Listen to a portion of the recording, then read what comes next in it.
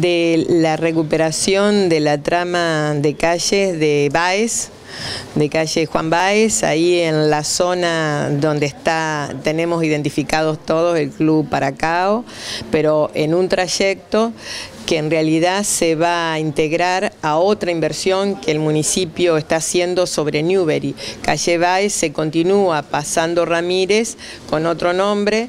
Esa, esa calle realmente que es Newbery eh, va a despejar integrada Baez realmente o va a habilitar un circuito de, de tránsito y de comunicación clave para la ciudad. Pero bueno, yendo concretamente a la licitación que estamos abriendo, es una obra de casi 7 millones de pesos, ha habido dos ofertas, están acá los vecinos, dos vecinales, eh, la vecinal Baez, por supuesto, el club eh, Paracao, la vecinal Espejo, y estamos contentos porque todos sabemos que esa zona hay que recuperarlo, hemos hablado recién, intercambiado con los vecinos y el club una problemática que tiene que ver con eh, hondonadas del arroyo Tuyucuá y zonas que se han loteado y que ya tienen viviendas y que el agua que proviene de la cuenca del arroyo genera problemas.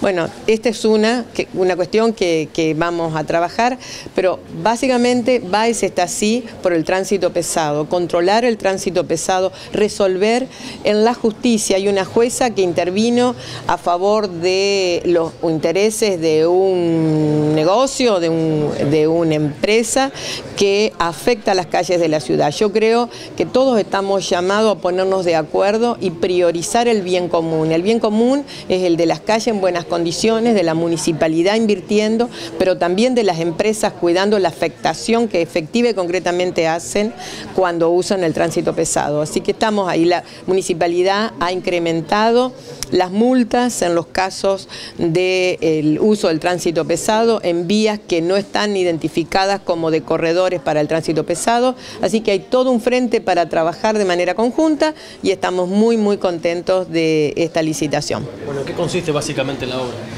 Bueno, la obra es una obra importante de reconstrucción prácticamente de calle Juan Báez entre Avenida Ramírez y General Espejo.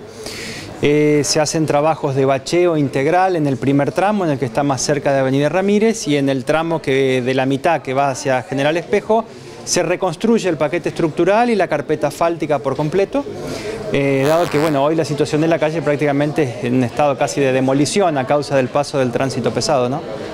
Este, bueno, es una obra esperada de hace un tiempo y creemos que la zona sur lo merece porque es una zona de crecimiento, además es una zona en la cual este, los vecinos aportan al municipio sus impuestos y este, esperamos otras obras complementarias que se realicen también y que este, sobre todo el tránsito pesado se pueda controlar y mejorar la calidad de vida de los ciudadanos que lo merecemos totalmente en esa zona. No, estamos muy contentos porque nuestro barrio va creciendo día a día y esto nos va a ayudar un montón para que eh, la gente que vive ahí tenga una mejor transitibilidad.